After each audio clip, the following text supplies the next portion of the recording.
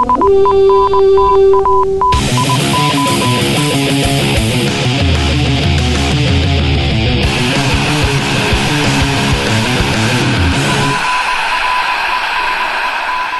to Norse Code, the number one podcast for your Minnesota Vikings. Returning after an unplanned two week hiatus, I am your host, Dusty O'Connell. Joining me, Minnesota Vikings blogger extraordinaire, well, just generally football blogger extraordinaire, uh, former live blog operator, and now slightly more peaceful person, uh, useful human, Arif Hassan. How you doing, Arif? I'm good, I'm good. And yeah, man, live blogs, they really took a lot out of me, especially during free agency. Dude, that first day of free agency is nutso. Like, you can, I mean, not that you don't already live on Twitter, but if you ever needed a day to, that would be it. Well, I, uh, this year I, I, I took a break from, not Twitter, from TweetDeck and played Dragon Age while I looked through Twitter on my, my phone. So it was, it was a lot more relaxing. Do you use TweetDeck on your phone?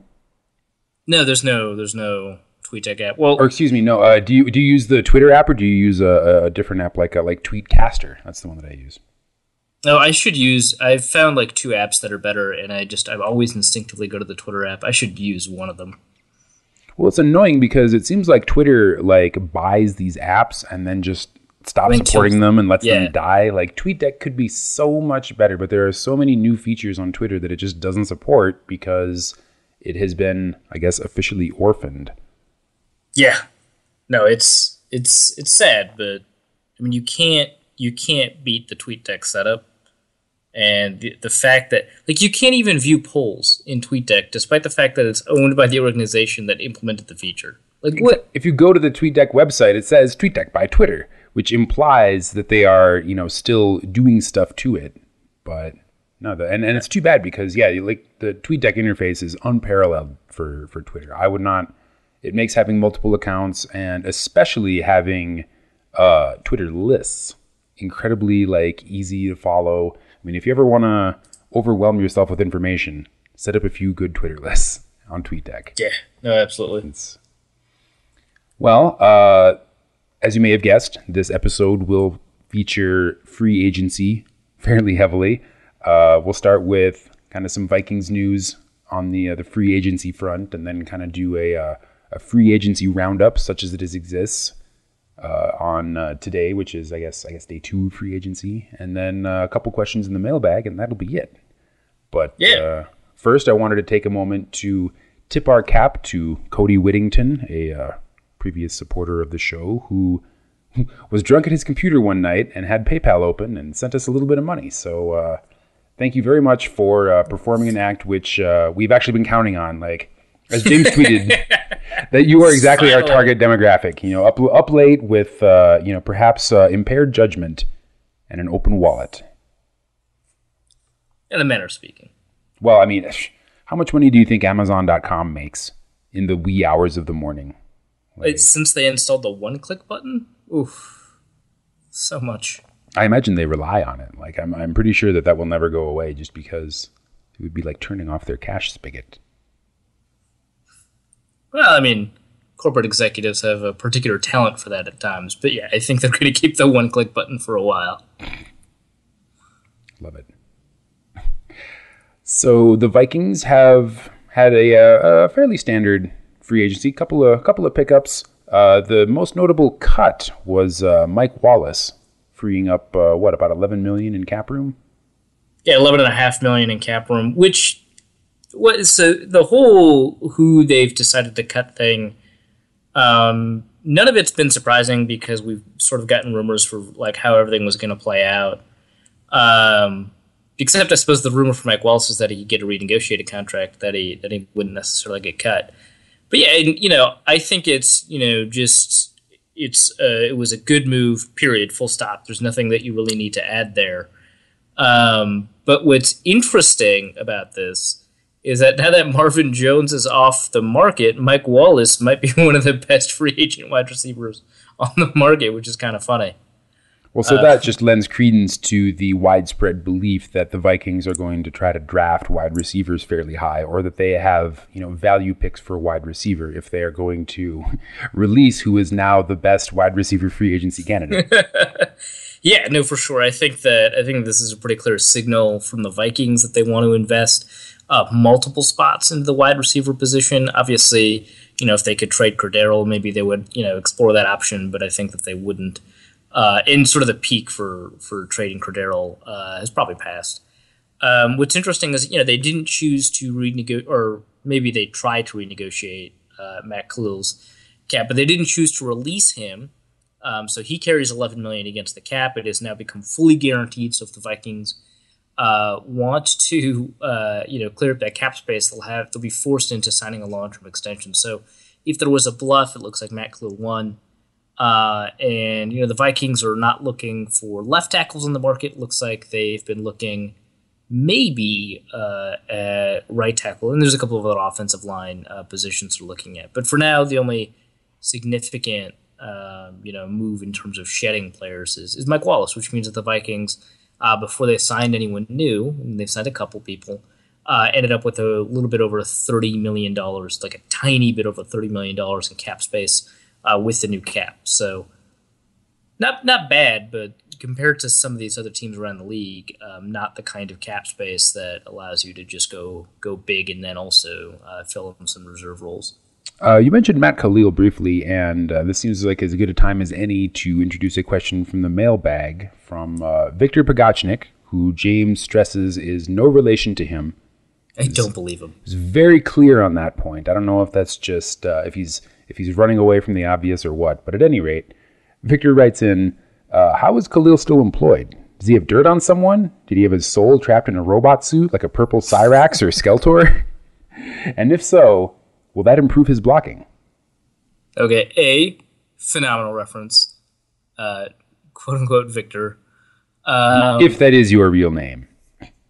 Because if it's your real name, you're definitely related to James. Uh, two, um, I'm kind of confused about this, but now that there's a rumor about them going after Andre Smith, it's it's beginning to make a little bit more sense. Know, the Vikings, I think, and this is something that I've been doing when I've been talking about Matt Kalil, but I think the Vikings are doing this too, and I think this is a problem that both of us have had when it comes to evaluating Matt Kalil. Is we're chasing that rookie season. I think they're chasing that rookie season. Uh, Jeff Davidson has been um, spectacularly bad at uh, developing Matt Kalil maybe he's been great at unlocking players like Brandon Fusco and John Sullivan, and I think that he definitely deserves credit for that. But um, you know, when it comes to Matt Kalil, you know, this is not something that that Davidson can do. Uh, they brought in Hudson Houck, uh, you know, former legendary Dallas offensive line coach. He was the guy uh, that coached up, you know, all of those, you know, Hall of Fame players from the Dallas offensive line in the '90s. Um, but uh, you know, they brought him in, and Matt Kalil improved, especially you know near the beginning of the season. Hudson wasn't with the team, you know, during the season. He was just there in the offseason as a consultant, and he was mostly consulting only about Matt Kalil. So with Tony Sparano in, I think they've convinced themselves they can find Matt Kalil again. They've convinced themselves that injury was a big part of the reason that he was not good in 2013 and 2014. Um, and he was an average to below average tackle. Uh, you know, this last year, except for the final five games of the season.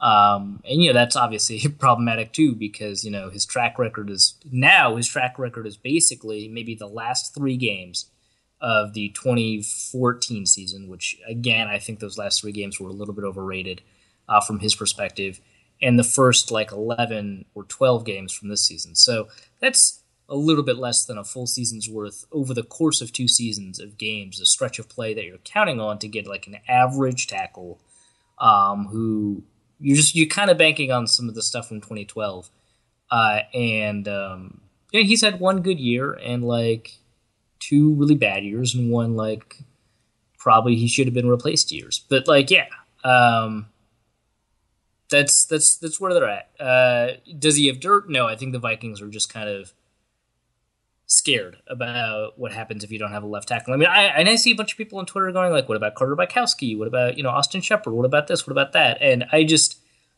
the the drop in play from a starting tackle, and I think Kalil showed last year that last year anyway, he could play at a starting tackle level. It doesn't mean good, just means starting tackle level. The drop from a starting tackle to a backup tackle is mind blowing. It's enormous, and uh, and having that bad of a tackle on the field, um, I mean that's that's exactly what T.J. Clemmings was. T.J. Clemmings was was miles miles miles worse than Matt Kalil, uh, and to have two T.J. Clemmings uh, would be suicide for Teddy. It, the, the only reason Teddy didn't get sacked more often, I think he was sacked 54 times this year. The only reason he didn't get sacked more often uh, from the right side is because they kept a tight end in pass protection almost constantly. Um, and so you can't do that when you have two bad tackles. And so the Vikings are very scared of that. I think that the optimism about a player like Carter Bykowski is massively overblown. Um, and people should probably let go of that idea. I think Austin Shepherd, that makes maybe a little bit more sense because he's looked good the times he's been on the field. But, you know, for the most part, I think the Vikings just have this loss aversion. They don't want to go after, um, you know, a tackle in, in free agency on the left side. Doesn't look like it would have been very easy to find one. Uh, and um, and yeah, that that would be the reason. Uh, I think that maybe they were a little bit too loss averse with their, you know, Matt Bluff, but they promised Adrian they were going to get a better offensive line. They told Teddy they were going to get a better offensive line, and sometimes that means not creating a hole uh, instead of instead of improving the position. So that's what that happened. Well, we did uh, re-sign Carter Bykowski to uh, a one-year contract with uh, undisclosed terms, according to Star Tribune. So probably not, you know, probably a minimum salary, not twelve million. well, I think he's he's an exclusive rights free agent, so I think they automatically get to extend him if they want for minimum salary. So, so that's uh, what we did. One-year deal. It's probably the minimum salary. Uh, also re-signed Mike Harris and Andrew Sendejo to uh, excellent, I think keeps one on the uh, the offensive side and one on the defensive side of the ball.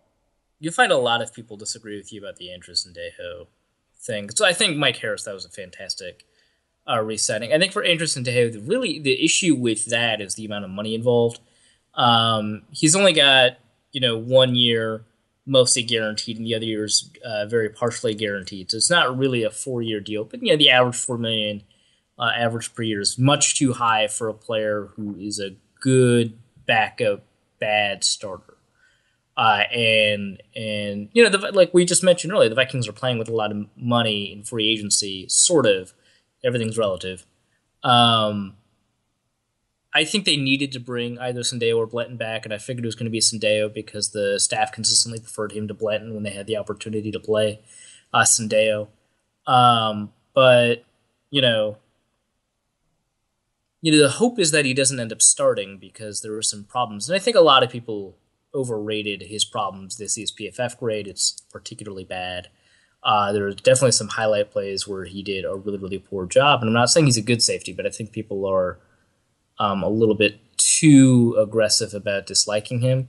Um, I think that he's a starting caliber safety, and again with Matt Kalil, again with with uh, Andrew Sendejo, that doesn't necessarily mean good. Um, but it does mean, uh, you know, better than, uh, you know, most or all of the backups in the league. Uh, and I think that he is better than maybe most of the backups in the league. So uh, he's a starting caliber safety ish, uh, but he's a guy that you want to replace. And that kind of money that they brought in wasn't wasn't, you know, backup level money or, or solid special teamer money, which is, you know, kind of the idea behind him is that he's a solid special teamer. Um, but it was, you know, for a lot of people, it's starter ish money. Do you happen to know how much of his salary is guaranteed in the first year? Um, I'm taking like I'm taking a look real quick on over the cap, but uh, it's um, I think there's there's a decent amount in in play incentives or in active game day checks. Let me take a look. I know so he's got a roster bonus of three million, so that's actually fully guaranteed a workout bonus of fifty thousand that he's almost guaranteed to hit, and a base salary of nine hundred fifty thousand. It's very very little. It looks like in incentive incentives in the first year. So, uh, it looks like nine hundred and fifty thousand dollars of it is not guaranteed, um, but those will probably come in during uh, you know game day checks and stuff like that. So if they cut him, they would only save fifty thousand dollars against the cap. So it, uh, it seems like chances are pretty good that he'll stay with the team for the first year of his contract. What do you think the like percentage chances are that he stays for the three successive years?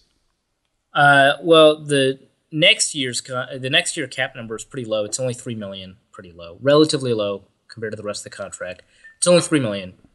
Um, and so I wouldn't be surprised if he stayed through 2017, but 2018, 2019 um, I think those odds are pretty low.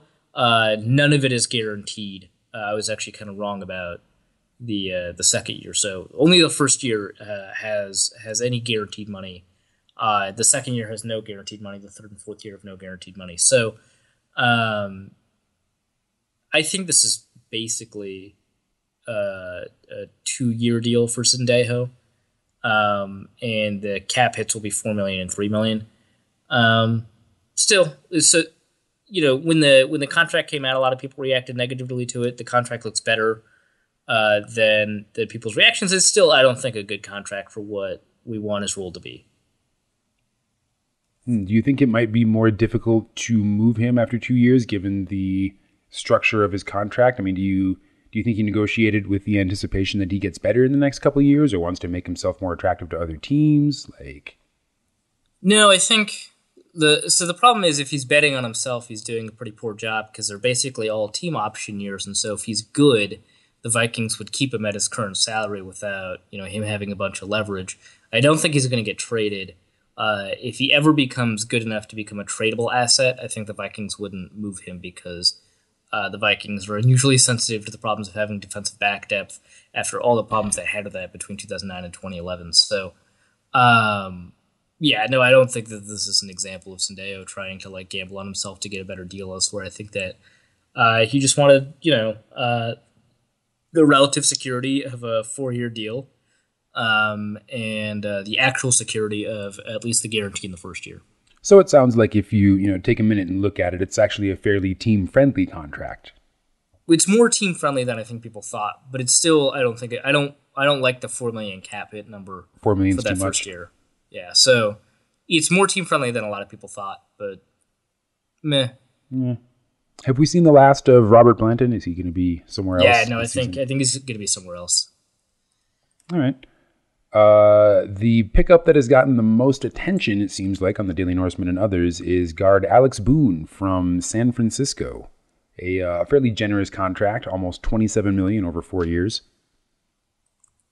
Yeah, and uh, it's a pretty exciting pickup. Um, I didn't monitor the reaction on the Daily Norseman. I mostly saw it on uh, on Twitter, but um, you know, it's uh, it's it's. I think the reactions I saw were were pretty appropriate. As they didn't, you know, see him as you know a lot of people saw Mike Iupati last year uh, as like the top guard on the market. They saw him as a pretty good pickup, but not you know this amazing pickup. And I think that that's actually. Um, I think that's probably uh, an appropriate reaction. You know, there's a lot of guaranteed money in the contract. I think there's uh, about 13.5, 13.4 million guaranteed.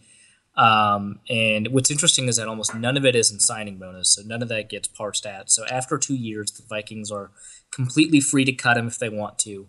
Um, but you know, uh, you know the, the, the cap number all four years is six point seven million dollars, so it doesn't rise. It's a very easy cap to manage. It's very predictable, uh, and he's got a roster bonus this year for five million, and he's got his base salary, uh, half his base salary next year guaranteed. So um, it's a pretty good deal, I think. Um, there's a lot you know to talk about when it comes to Alex Boone.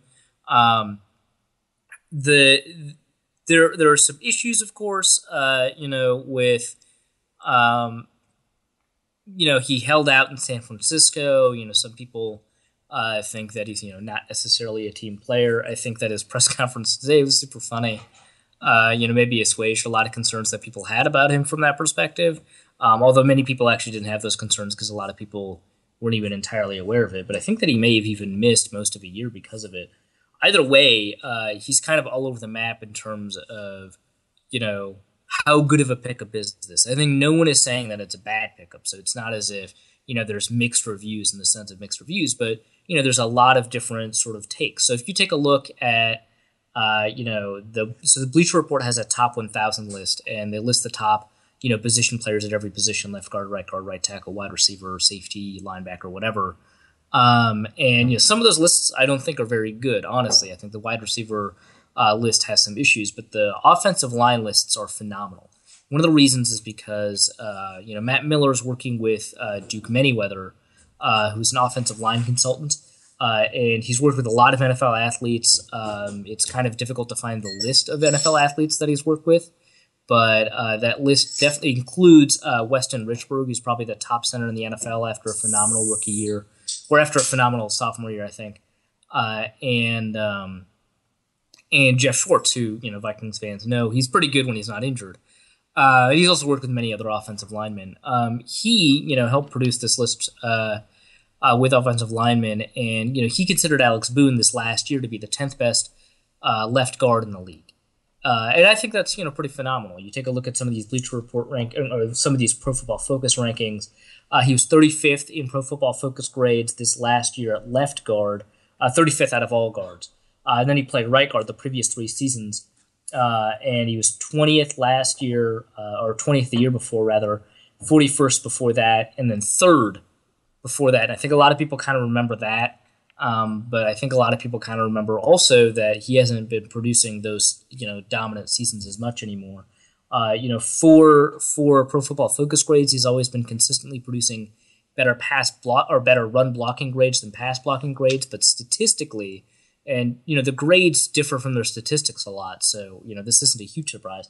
Statistically he hasn't been that bad in terms of pass blocking efficiency and that could be because of the mo- because of the mobility of the quarterback because of the ease of his pass protection assignments because of how you know defensive lines target you know who or whoever because of how often he has double teams etc etc etc there's a lot of reasons the grades could be different than the statistics.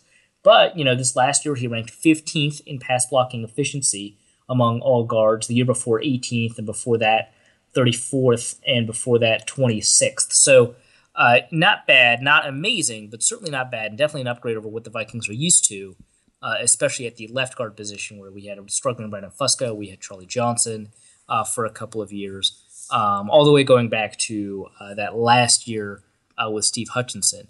And you know, there's um, some pretty amazing stuff that, that I'm going to link the the Duke Manyweather report uh, in um, in in the show notes. But there's some pretty amazing stuff that Manyweather says about um, uh, uh, about.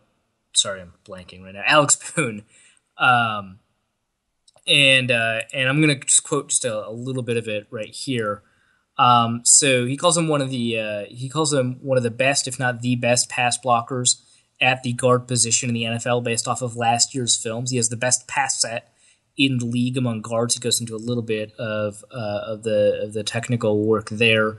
Um, but you know the sentences that kind of stand out are like Boone displays outstanding patience and punch timing when delivering a violent strike. He's able to latch on, gaining inside control. Uh, Duke obviously had some very positive things to say about uh, Boone's, um, you know, about Boone's run blocking. His nickname is the Rhino. He combines physicality, strength, quickness, and technique. Uh, he talks a lot about the specifics of uh, of the different kinds of blocks that that Boone goes into, and then he also talks about maybe a couple of times, you know, his angles to the second level are a bit inconsistent. When he takes proper angles, he's able to engage and strain flowing defenders when asked to pull. Does a decent job of digging defenders out. So those are all quotes from Duke Manyweather. I think that's very good. That's all very positive stuff to say. I would be kind of interested to see, you know, sort of how uh, he'll respond to the changes that happen in the in in how he'll have to block uh, when he has to deal with the very, very long drops that Norv Turner requires of Teddy Bridgewater because, you know, Colin Kaepernick would hold on to the ball for a long time, not because of the offensive design, but because of who he is. So maybe that kind of translates well, but it is a completely different offense. You don't have a moving pocket, which sometimes helps you uh, if the quarterback moves the pocket. Uh, and so, you know, so, some of that is just difficult to, to, to, to figure out. Uh, regardless, I think it's a really good pickup. I think that the money was really good for the Vikings. Um, Chris Tomasson of the Pioneer Press said that the plan right now is to start him at left guard and that Brandon Fusco was going to compete at right guard. Um, so that'll be fun. I thought that was a great pickup. That's probably um, going to highlight what ends up being a positive free agency period uh, for the Vikings. Obviously, you know they'll probably sign a couple more players by the time uh, you know this is all gets played out. But you know most of the moves have been made. Most of the moves I kind of disagree with.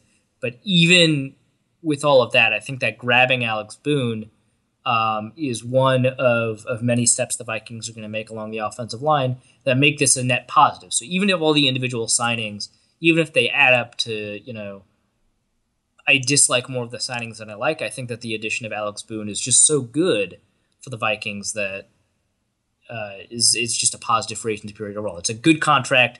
He's had some issues. Um, he's either an average guard according to Pro Football Focus, and that's kind of the floor of his evaluations, or he's an incredibly good guard, uh, according to Duke Manyweather, um, who isn't evaluating sort of the results kind of like Pro Football Focus does. You know, did he get blocked? Did he allow a pass rusher through? And he's evaluating the technique here, which uh, may be more sustainable. Who knows?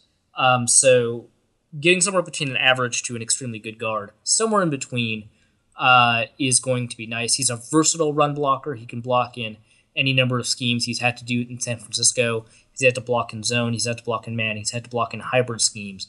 And so that'll fit well here in Minnesota as well with the man blocking scheme that uh, that Tony Sparano is likely to implement. And he is a 100% hard ass, as is evidenced by the extremely popular GIF floating around of him unhelmeted headbutting a helmeted Colin Kaepernick yeah. and clearly making an impression on the golden garbage can. Yeah, no, he's um he's he's fun, right? So he's not just an unmitigated hard ass. He hates Clay Matthews. That you know that that speaks well to him, I think, among yeah, thumbs up, fans. Plus one. Uh, he he did. He was asked about it. He did say that he thinks you know Clay Matthews is a good guy, but we'll ignore that for now. Um, he did say he hates Clay Matthews, so there's that. Well, he didn't say he uh, hates him. He said he wants to punch him in the face. So that's done. Perfect. Uh, and then uh, he's really charismatic in in the uh, in the in the presser today, today as of this recording rather. Uh, and you know he's you know talking about you know uh, as soon as he heard Minnesota was interested, he wanted to go to Minnesota, freeze out all the other teams. I want to play in the cold. Uh, he grew up in Ohio watching the NFC North, actually, and he says that he loves NFC North football. To him, it was always, you know, nasty, bruising football, and he wanted to be part of that. Minnesota's building that. It seems like Minnesota's really close, he said, uh, and he wants to be a big part of that. Um, you know, as soon as he met Teddy, you know, he loved him and he wants to protect him. He's his quarterback. Uh, he, he, didn't just say all the right things. He just, it, it, was very effusive and it was really cool. It was kind of fun. Yeah, now that uh, Jared Allen has ridden off into the sunset, it'll be nice to have another player who can provide uh, pithy quotes, basically uh, on demand for for media members. Yeah, Tomasson predicted that he was going to get the uh, Media Good Guy award, so we'll see if we'll see if prognosticating Tomasson is gonna is gonna bear that one. He's he's gonna he's gonna move the needle a little bit because he gets a vote. But you wouldn't call that uh, Tomastigating, would you? I would call it Tomastigating. Ah, excellent. Uh, so we had a question from James Reed in the email mailbag about Rahim Moore but it seems that the Vikings went in a different direction and signed Michael Griffin instead. Uh, yeah. Um, by the way, sorry for uh, for not getting to some of the mailbag stuff from last time. Uh, by well, the way, we just wanted Logan to wait Reed. until we had a firm answer for that question, and then the Vikings took care of that for us. So no, now we don't have to speculate. exactly. Uh, by the way, that's Logan Reed. Uh, oh, that's right. The, the email always email account. We so messed Logan that up constantly. Reed, sorry, Logan. Sorry. Um. Anyway, Logan. But, but uh, yeah, they signed Michael Griffin. This is one of the moves that I talked about when I said that I disagree with some of the moves that the Vikings have made. Um, 33, old. Um, his biggest asset when he was, uh, you know, he's a first round pick, right? His biggest asset when he was with Tennessee, when he was good, uh, you know, basically, you know, 2000- 2007 is when he had a huge interception season, I think, but it was 2008 to kind of 2012 that he was that he was pretty good. Uh, got two Pro Bowls in that span of time. I think one in 2010 and one in 2009, if I'm remembering correctly. I could be wrong. Could be one in 2008. Either way, uh, his biggest asset then was his speed, and that's clearly fallen off. He doesn't really have uh, the same the same speed, uh, and you know, there's definitely a very clear tendency among the kinds of players the Vikings are signing and re-signing in the secondaries. They all love to hit hard. They all have a history of hitting hard. They all have good gifts of them hitting hard. Uh, they set the tone for the defense. It's very clearly a theme that the Vikings are setting, and Michael Griffin kind of adds to that theme. Unfortunately, unlike Harrison Smith and more like Andrew Sendejo, uh, you know Griffin's had some problems, you know, wrapping up, and I think that his missed tackle problem is overstated. You know, Pro Football Focus had a tweet saying that you know he has the most missed tackles for a safety since 2007 when they started grading, and that sounds really bad. And I'm not going to say it's not bad. It's bad, but I think it's overblown. It's not that he's the worst safety at tackling since 2007. Those are the safeties just happen to get cut or benched, uh, and you know Griffin wasn't. Uh, and so he's had a lot more tackle opportunities. If you take a look at his tackling efficiency, Pro Football Focus, a premium stat that they keep, how many tackles you get per missed tackle, um, he actually has two pretty good seasons in that span of time, kind of top 10. And most of the other seasons are relatively average to a little bit below average. And I think that's more who he is. He's missed more tackles recently than he has, uh, than he had back in you know, 2009 or whatever.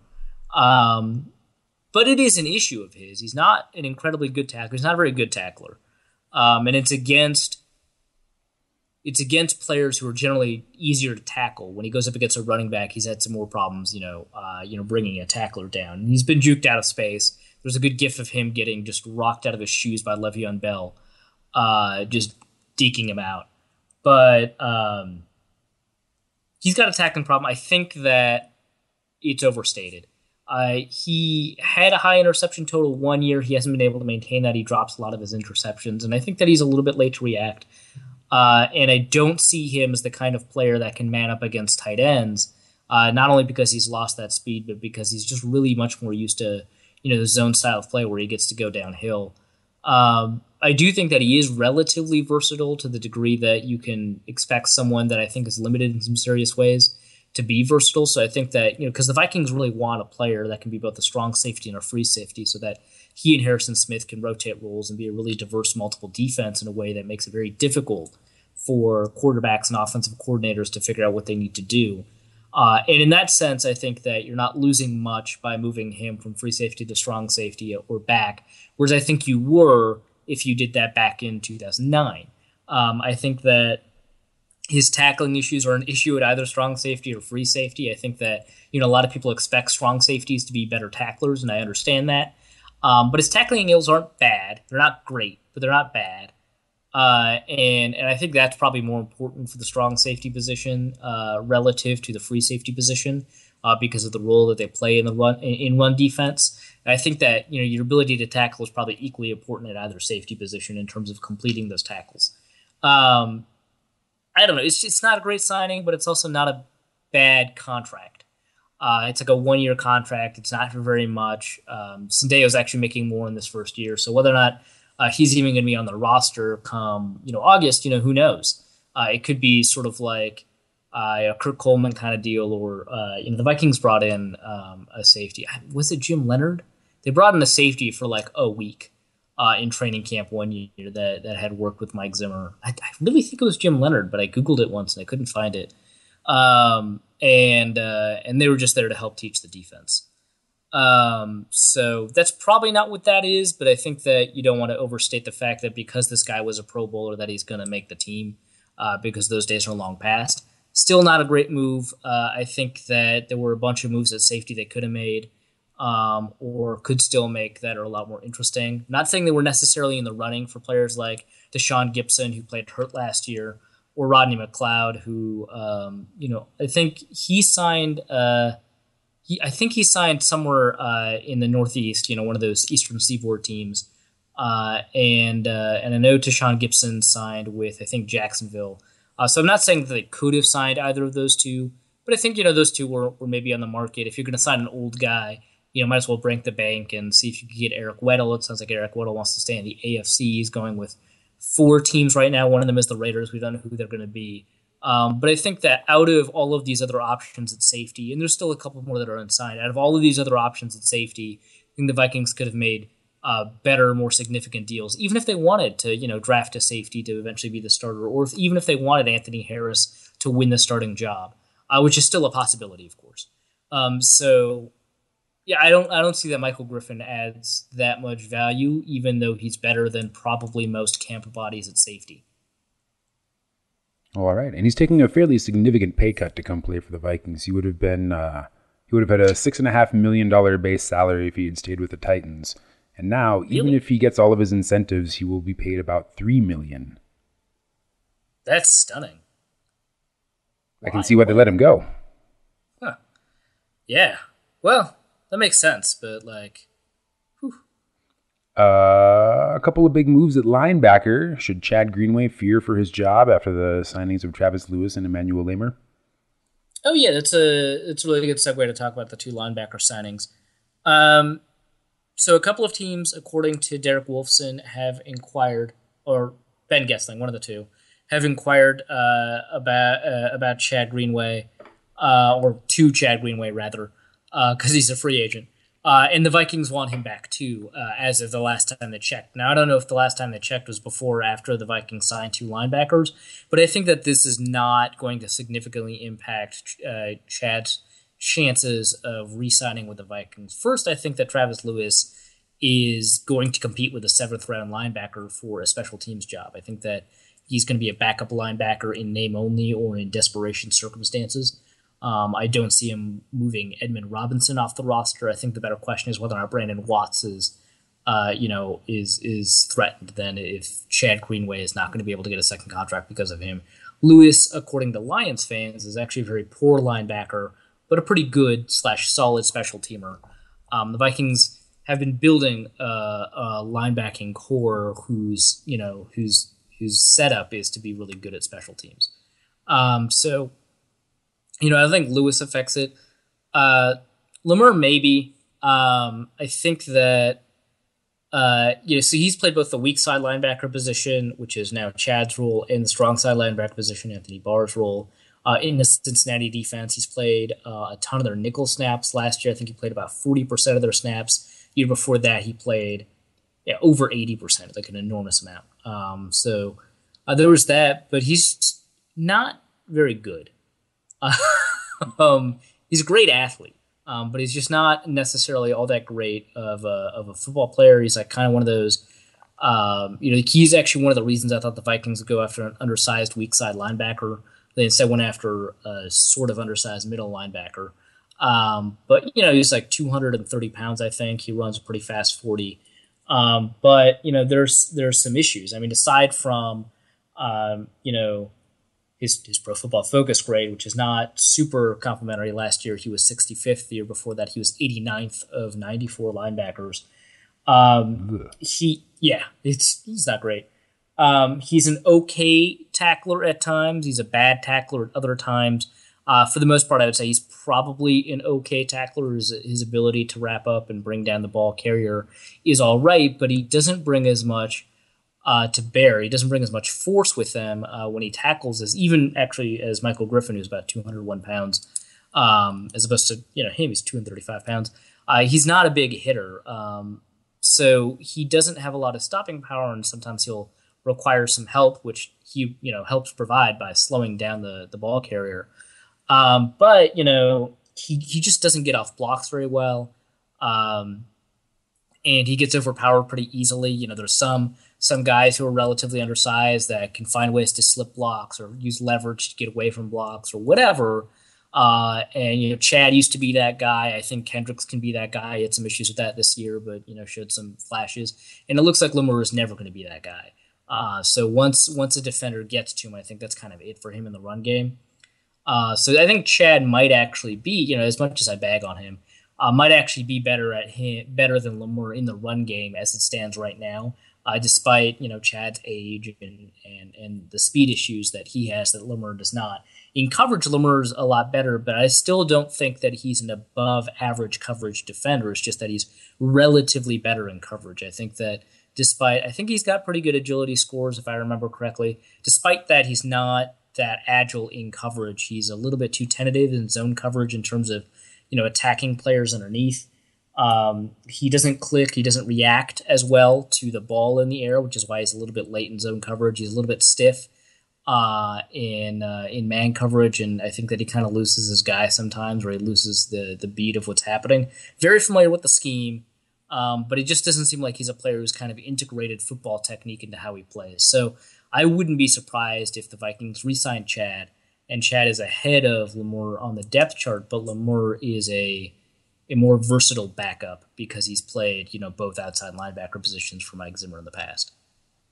So it's more of like a, a adding depth sort of situation than potentially looking for a replacement. Yeah, and I wouldn't be surprised if, like, hey, the Vikings think they've got enough depth and they don't sign Chet. So I wouldn't be surprised if it impacted his chances. I just don't think that it's likely that it impacted his chances, but it could. I just don't think it did. Speaking of adding depth, uh, if you want to see a really unflattering picture of Andre Smith, uh, check out the Daily Norseman article where it looks like he is. Is that uh, him running the 40? Uh, no, it's uh, it's him lined up in a game against the Browns, but uh, like you you see him and he's got his eyes on his defender, but it looks like his very large body is about to like collapse both of his ankles and his knees. Oh wow! I just saw it, and yes, it, it definitely. That is not a uh, a football move that he is making right there. Well, I think the photographer caught him in the in the middle of a kick step, or that has to be it because it looks like he's chopping back. Yeah, Uh, it, it that's looks he's trying to scoot, you know, to his I guess right to to pick up 97 and he's like pushing back off of his like left heel, but yeah, not a not a good moment to be photographed. Yeah, uh, you should probably be pushing off with his toes. Honestly, anyway, uh, Andre Smith is kind of interesting just because, uh, aside from like, being big, he's a big name. Um, I, I just, I guess, for the purposes of adding starting quality bodies to compete with each other uh, for offensive line spots, I suppose that would make sense. I don't see him signing with Minnesota. I know he's visiting Minnesota. I know that there's this Mike Zimmer connection, but I think that he'd rather be assured of a chance to start. And I think there's a couple of places around the league that he'd be able to start if he chose to visit them, uh, as opposed to um, as opposed to you know being required to compete for a job. Uh, you know, Andre Smith, um, you know, somebody that I think that people kind of overrate his run blocking ability because of how big he is and how long he's been with the Bengals. Um, you know, overall, I I feel like he doesn't consistently. Well, there's two things he doesn't consistently do. I think the first thing is that he doesn't consistently drive with his feet. You know, a lot of the, a lot of people talk about how Loadholt's a really good run blocker, and a lot of people kind of naturally attribute that to his size and his strength. Obviously, those are big aspects to to how Loadholt does things. Andre Smith also has size and strength. Maybe not as much as Phil Loadholt, but you're kind of splitting hairs there. Uh, he is bigger and stronger than almost everybody he lines up against, kind of like Phil Loadholt. But the difference, I think, is that you know Loadholt will drive, and uh, and you know a lot of people don't see that in Loadholt because um, it looks like he'll he'll get his feet stuck in cement, or because he doesn't move very well in pass protection. Um, but you know, for the most part, Loadholt will drive, and and he'll move his feet to do it. Uh, Andre Smith doesn't do that, and, and and that creates some problems. It allows defenders to squeeze the gap. And then at the second level, he's also inconsistent uh, in his blocking angles, and so he'll miss his uh, he'll miss his uh, he'll miss his defender. Uh, and he's supposed to be a better run blocker than a pass protector. If you take a look at the PFF grades, uh, I think he was 64th last year in PFF out of 76. before that, 52nd. Before that, 24th, and before that, sixth. So precipitous fall every single year. Uh, and this is why I mentioned uh, Andre Smith when I was talking about Matt Kalil, is that the Vikings might be chasing one good year uh, and ignoring two to three bad uh, years and, and Well, taking bad, maybe like an average. worse.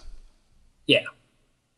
Um, and, um, you know, it's, I get it because you think you can fix someone and, and all that. Um, but, you know, for the most part, I think that he's actually a lot like a lot of people imagine Loadholt to be uh, in a lot of ways. Um, but I think worse. I don't think there's ever been a year where I would consider maybe maybe that 2012 right where where he was sixth in PFF grades. Maybe if I compared the two uh, in terms of their film in 2012, Loadholt would have been better. But my guess is I wouldn't. I couldn't find a single year, except obviously last year when Loadholt, didn't play, where Loadholt wasn't a better right tackle than Andre Smith and they're kind of comparable in the sense that the way that people perceive Phil Loadholt in about 2010, his sophomore year in the NFL, is kind of like how Andre Smith plays now. Andre Smith's not very quick in pass protection, doesn't move his feet well, and unlike Loadholt, he hasn't really figured out how to compensate for that. And I think Loadholt has. I think that uh, you know what Phil does is that he finds a way to get the first push in, which is why he struggles a little bit with wider defenders because it's harder to get that push in uh, when they're lined up a little bit out wide. But he's figured out that first contact is a way for him to win and get over some of the agility issues he has on the edge, whereas Andre Smith hasn't really figured that out, and he still kind of struggles with edge defenders. Um, there's that. I think Loadholt has a little bit better balance, uh, and um, and so what we what we talk about when we say Loadholt's a bad a bad pass protector, which I don't think it's entirely accurate or fair, is kind of what Andre Smith has been for the past two or three years. So I'm not super excited. It doesn't seem like Vikings fans are incredibly excited, but they're intrigued because it is something. Andre Smith is a starting quality right tackle. Uh, and so you have him, you have Loadholt, who admittedly hasn't played something like 20 games, uh, the last 20 games. Um, and, you know, you're going to have a really good backup between the two of them, but you probably don't have anyone that could flip inside to guard and I mean, we already have a pretty healthy competition at right guard anyway between Fusco and Harris. Obviously, you're not going to ask Loadholt or Smith to play left tackle. Obviously, you're not going to ask them to play center. So um, it is. It would be an interesting allocation of resources. If I'm Andre Smith, I'm going to find a team that wants me to start. Um, because you know, I think his reputation is better than his play. I think some teams will bank on his reputation. Well, there you go, and that uh, that about wraps up the uh, Vikings free agency moves. There's a Star Tribune article linked in the show notes, the Vikings free agent tracker that is updated with the latest in uh, re signings, additions, losses, players released who I don't anticipate there will be anyone, at, well, I guess maybe Josh Robinson, but uh, of the unsigned free agents, uh, do you imagine that most of them will come back for next season? Yeah, I wouldn't be surprised if Muslim came back. I think Asiata came back? Question mark. I don't remember. Um, but yeah, uh, I think aside from Robinson, I think that most would be expected to come back. Well, then let us turn our attention to the rest of the league, starting with a story that blew up the entire internet and then crept on to uh, Fox Sports and ESPN for about five minutes. The uh, the great Uncle Chaps who uh, amazing. If we're if we're being completely clear, so uh, Uncle Chaps tweeted out that uh, uh who was it? Olivier Vernon was signed by the Giants. Jaguars. Jaguars. Uh, he ended up going to the Giants uh, later that day, but Fox Sports picked up this tweet as though it was actual reportage, and then ESPN picked it up too. And yeah, so Chaps pretended to be Jay Glazer. So the thing about Chaps is that he's not like most fake accounts when they fake a thing. First, all you have to do is go through Chaps' feed because he tweets about not this stuff all the time. Um, he, he doesn't tweet in character. He's not like a he's not a fake account in the vein of like an Adam Schefter. Right, exactly. Uh, and he doesn't change his at. Right, it's just it's at Uncle Chaps every single time. He just changes the name that appears, uh, and he changes his avatar, and that's it and so he was Jay Glazer this time. Uh, and uh, and he he tweeted out that the Jaguars signed Olivier Vernon to like a four year, seventy five point five million deal. Which you know the people who thought it was real were like, "Wow, that's a pretty expensive deal." Turns out they got a way better deal anyway with the Giants. it turns out but, reality yeah. was much more ludicrous, yeah. And then ESPN cited it. The th- weird thing is that ESPN cited it as Jay Glazer, uh, which is actually kind of rare. They actually don't cite Jay Glazer when he breaks news. They just say according to reports, which Glazer's had some issues with, uh, a lot of issues with actually in the past, because ESPN doesn't cite the fact that he's the one that's breaking the news. It's kind of his only job. Uh, and so the one time they did do it, it wasn't actually him; it was Uncle Chaps. Um, and this is why they don't.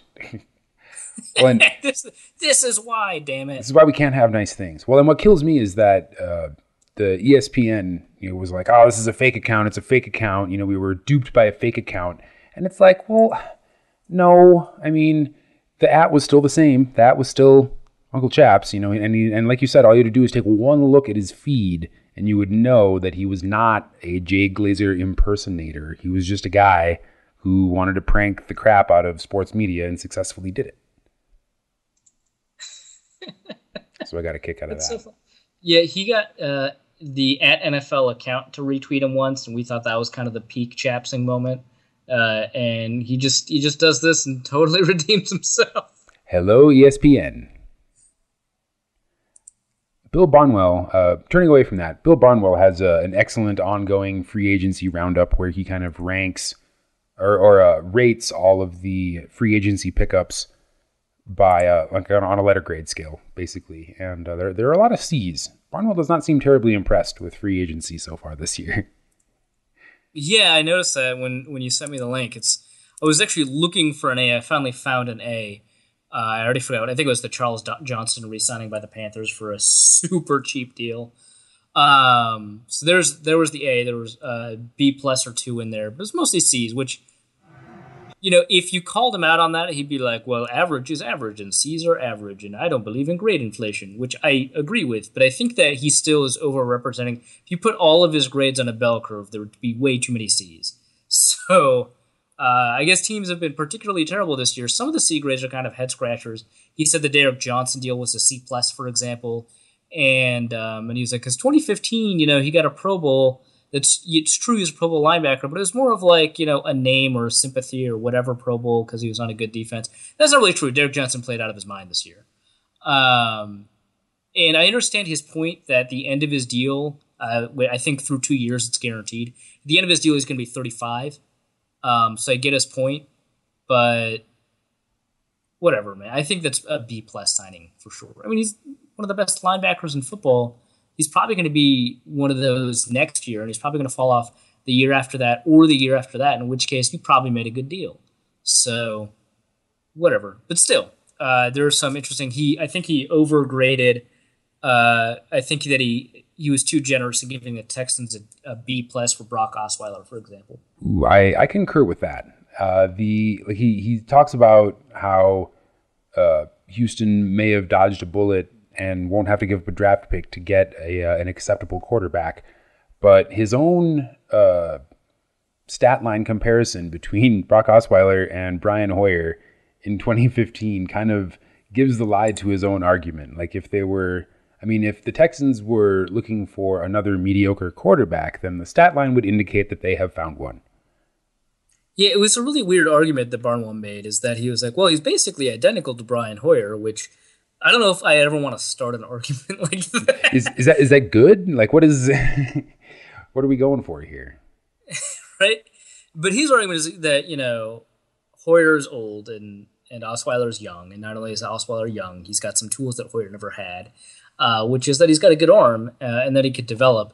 And I think that I think that one, I think and I know that this is kind of Barnwell's deal because like you know subjectivity brings up a lot of room for error, um, and so you know the statistics, uh, you know, would be easier to evaluate. But I think that here Barnwell is being subjective about his projection for improvement, and he's not admitting it.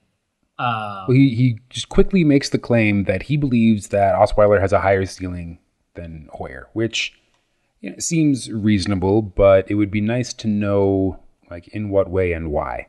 Right, and really all we had was big arm, and that's that's a subjective thing. And I think that from a scouting report perspective, I think that Brock Osweiler actually falls flat. I think if you look at the stats, I think that what is he a third year quarterback, a fourth year quarterback, right? Uh, a fourth year quarterback should do better than that. Um, I'm not going to compare him to Aaron Rodgers, but he is probably one of the only examples we have of a guy coming off of the bench uh, for a Hall of Famer after four years and then becoming a starting quarterback. Uh, maybe Tyrod Taylor is another example. Maybe that's who we should compare him to. Uh, Tyrod Taylor looks a lot better than um, than than Osweiler. I mean, a lot of people might disagree uh, with the following statement, but I think that he may have looked like a top eight quarterback this last year. Uh, Bills fans actually disagree, and they watched him more than me, so they may know better. Uh, you know, their issue, of course, is that you know he didn't produce in the clutch or he didn't produce when teams knew he was going to throw. I actually kind of disagree with that, but whatever. The point is that if you don't, if you if you sit for four years, and if you don't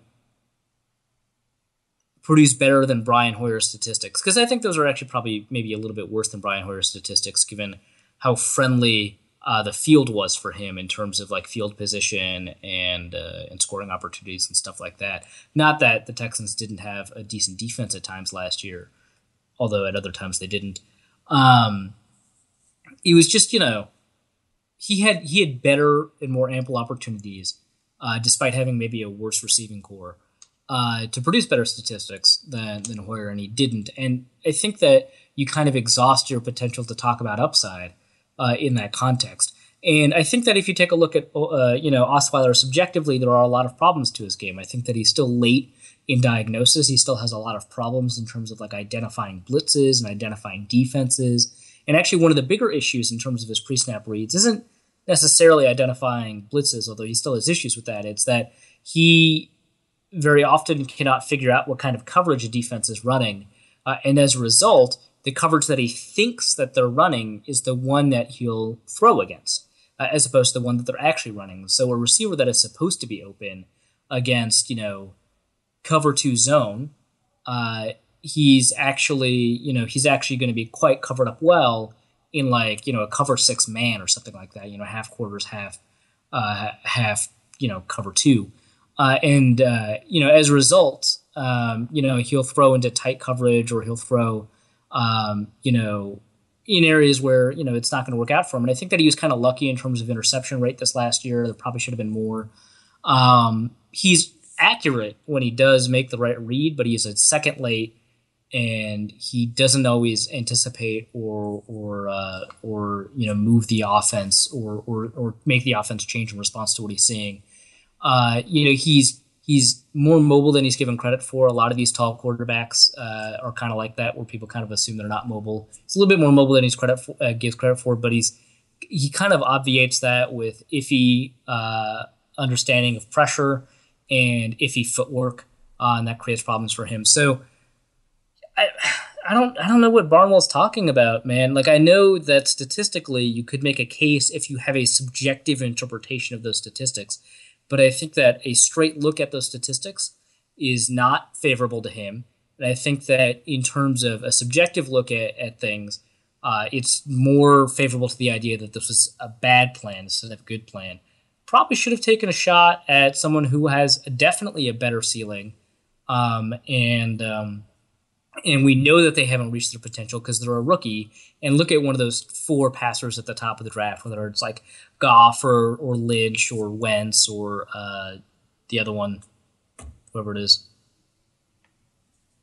I don't have it here in front of me. I mostly just wanted to uh, highlight the uh, the article so that people could uh, take a look at it and uh, feel free to yeah. accuse Barnwell of great inflation given the number of B's and B pluses that are also.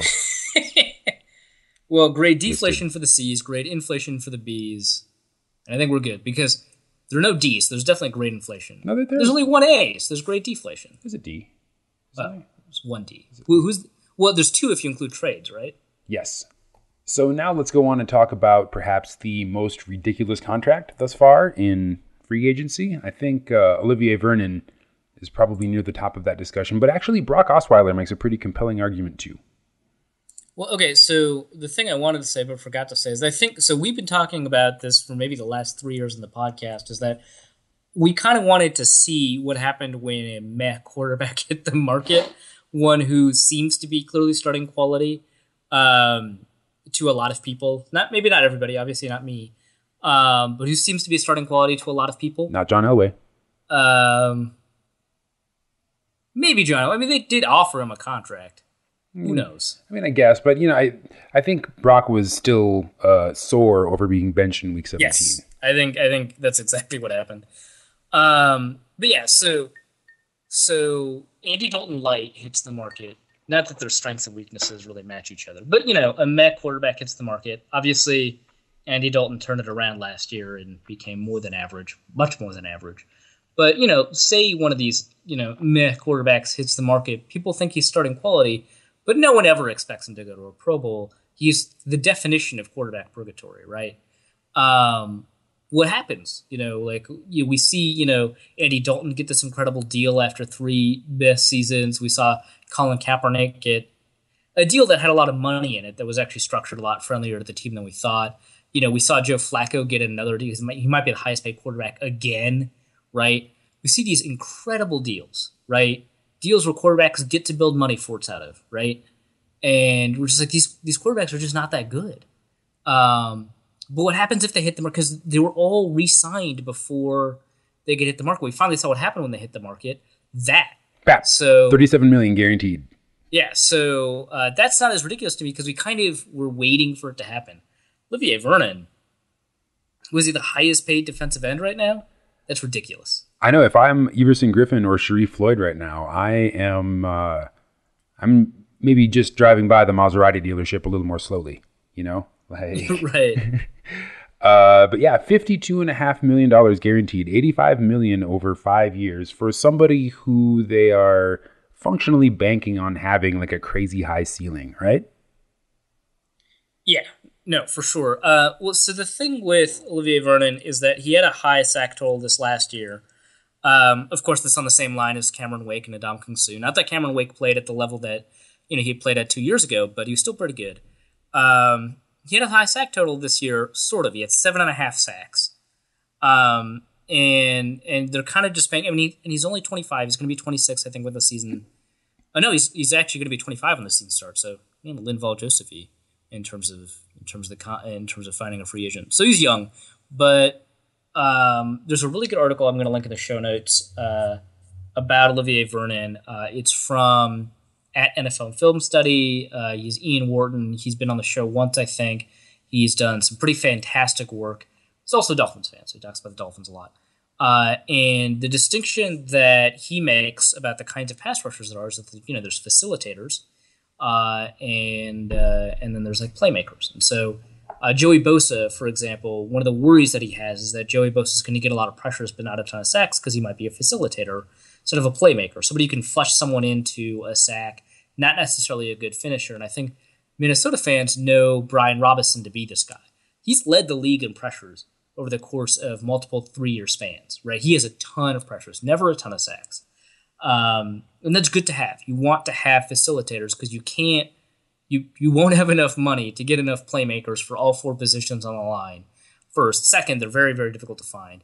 Uh, and third, facilitators might be able to increase your defensive line's overall productivity more than, uh, you know, so like two facilitators and two playmakers may be able to increase your productivity more than you know four playmakers might because there might be a lot of you know freelancing and stuff like that.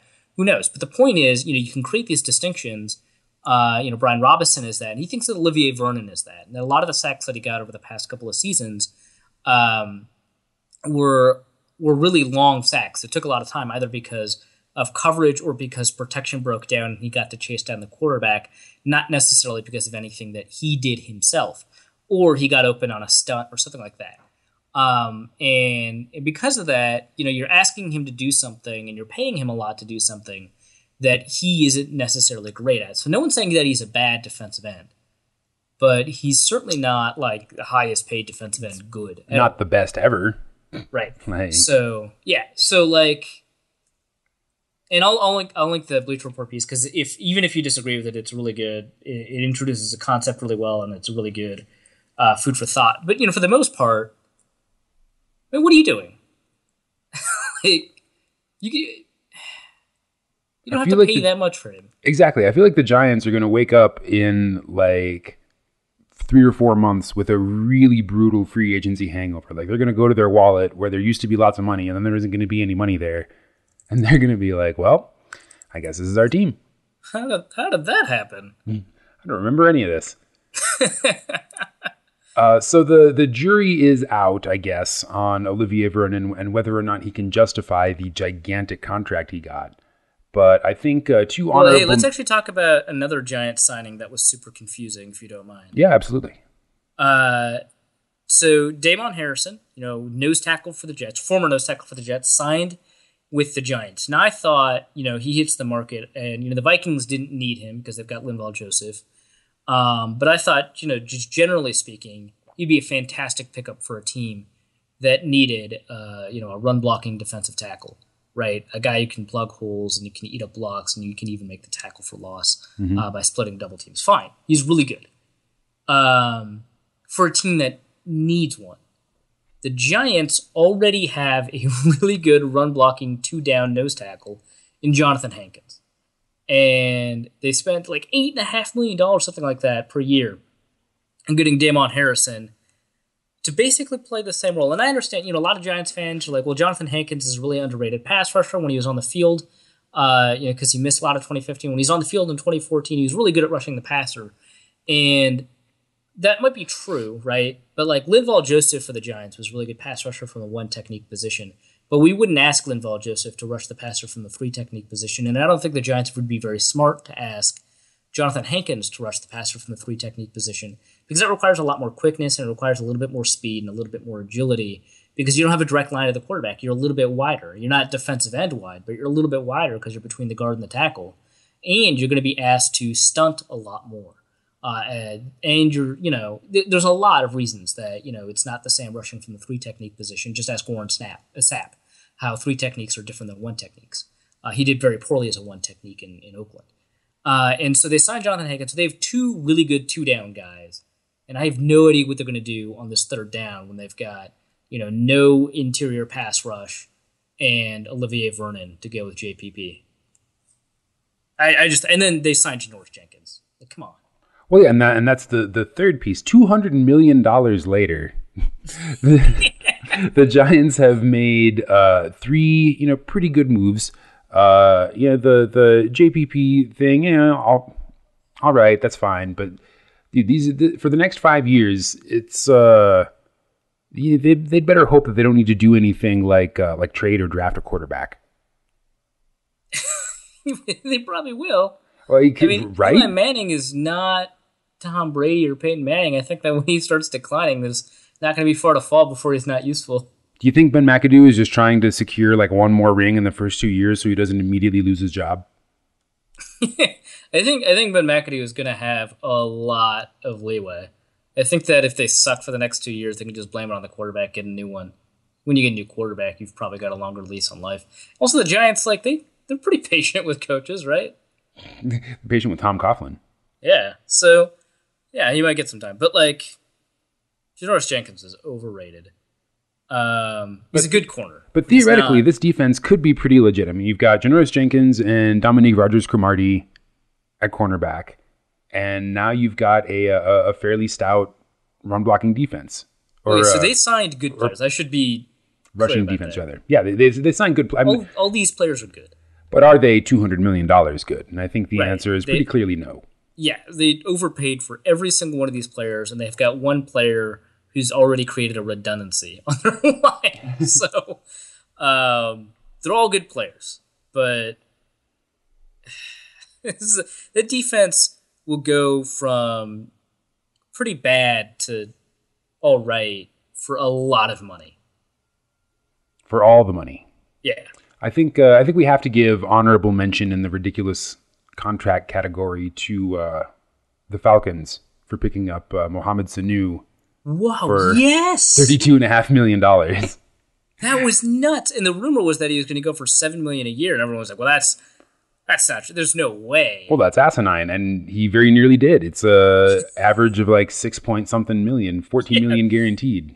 Yeah, jeez. Seven million dollar signing bonus.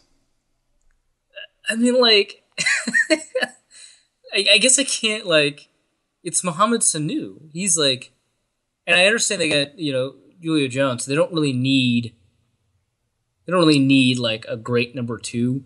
But well, that's a reason to one. underpay instead of overpay in free right? agency. oh my goodness. Yeah, well and I mean, if anything is true about Mohamed Sanu, it's that he is used to playing in the shadow of like other really good receivers. Yeah, from the same draft class, no less. Uh, 50 targets last season. So assuming a similar number of targets this season. Uh, what's uh what's seven million divided by 50? 350,000 per uh, per target. Thirty five thousand per target. They so they paid six and a half million for a dude who's only hit above six hundred yards once in his career, and that was for seven hundred and ninety yards. And I believe Marvin Jones was injured that year. But he's had eleven touchdowns in his entire career in Cincinnati. In his career, he had no touchdowns last year. Oh my gosh! This is terrible. This is just such a terrible deal. this reminds me of the time when the Vikings got Michael Jenkins, except they got him for like two million dollars, and no one was really upset. Yeah, exactly. We didn't guarantee him fourteen million dollars to run downfield and, and act like he might catch the ball. On the other hand, they may have upgraded at quarterback by signing Mohamed Sanu. So he has a perfect passer rating. Has he thrown one pass and it was caught? He has thrown five passes. They've all been caught. Ooh. Uh, two touchdowns, no interceptions. Definitely an upgrade over Matt Ryan. that much is that much is clear. So, in terms of teams that have made the strongest moves in free agency and the and the teams that have lost the most in free agency season thus far, I have a couple of standouts on either side. I think Jacksonville has had a really amazing free agency. All right, well, well, recap it for me so that I can react real time because I kind of forgot. Uh, Malik Jackson, I think, is the uh, is the big standout. yeah, from he's Denver. a really good player. I think they slightly overpaid for him, but they've got like eighty million dollars in cap space. They- They've got they've got a ton of cap space, and I think a lot of the Broncos players. I mean, the Broncos are going to be fielding an entirely different team next year, regrettably. And They lost uh, six players, right? yeah. Like? Yeah, and and not just you know anybody either. Like Danny Trevathan is gone. In fact, I I have the Broncos listed as my top uh, loser in in free agency. They lost Danny Trevathan. They lost Malik Jackson. Uh, it looks like they're going to lose C.J. Anderson. They lost Peyton Manning and Brock Osweiler. Yeah, they lost quarterback. no, no. Uh, stay, stay strong. They're gonna get Colin Kaepernick. the golden garbage can lives to fight again. I actually, somebody mentioned on Twitter, I forget who it was. I think it might have been Iowa Josh. Uh, yes, it was. Josh Bjork uh, made a joke about how the Broncos were going to trade for Jay Cutler, and I actually would be totally okay with that. That would be way better than getting Colin Kaepernick. That would be so, that, that might actually be awesome. I mean, if you want to talk about uh, saving Wait, Jay Cutler, is there anyone left in that front office who was there when Jay Cutler was traded away? no. Okay, so you don't have the same coach. You don't have the same. Well, then why would he feel upset about that? I, I mean, aside from his normal state of always upset. that's that's just the way he. Well, I, I remember Jay Cutler has transcended human emotion. but anyway, uh, getting back to the The uh, the Jaguars, uh, they also have uh, Tashaun Gipson now. Oh yeah, that was a good signing. He was hurt last year. Didn't have a great year last year, but he was hurt. Uh, and the year before that, he was phenomenal. So uh, my guess is, and he actually is a pretty good fit for that defense, given the amount of range that he has, uh, and their need for a safety with range. Um, and he'll play something he's a little bit more comfortable playing, something that he played closer to his 2014 year anyway. Great signing. Uh, the internet is split on this one, and uh, I am a little bit higher on it than it seems like most of the internet is. But uh, the Jaguars also picked up Chris Ivory from the Jets. Oh, it was a great signing. I know. I thought so, too. Because he's getting like six million dollars, right? Uh, well, he's getting he's getting a lot of money, and I think the uh, the argument is that the kind of back that Chris Ivory is leads to like short-ish careers and uh, or or short peaks rather. And There's no uh, evidence for that, by the way. Yeah, and uh, so people will people will say this both about big bruising backs because they take a lot of punishment, and small backs because they don't have a body to take punishment. So there's no. so, so, so really the argument is that the the position is just too punishing for anyone. right. Ugh. Uh, but I, I think there are a lot of uh, people who are really high on T.J. Yeldon, and uh, signing Chris Ivory makes it pretty clear that he's probably going to take a back seat. Well, the thing is, Ivory is probably better in short, short yardage situations than T.J. Yeldon, despite you know maybe the reputation that Alabama backs have or that T.J. Yeldon has. Um, no, no, I think that, and I don't think it was a ton of money. I think it was more money than people expected the Jaguars, who already have a running back, to pay for a running back. But I think that you know Yeldon. I mean, he only had sixty yards a game last year, and only had two touchdowns. He has a lot of issues in short yardage situations. Chris Ivory is like the opposite of that, and I think that if if your two concerns are, um, and Chris Ivory hasn't even had a thousand attempts yet, um, because he only really started. Uh, so he had one year with New Orleans where he was the primary back, two years where he was not a primary back, uh, and then three more years where he took a lion's share of the carries, but you know only one of them where he took over 200 carries.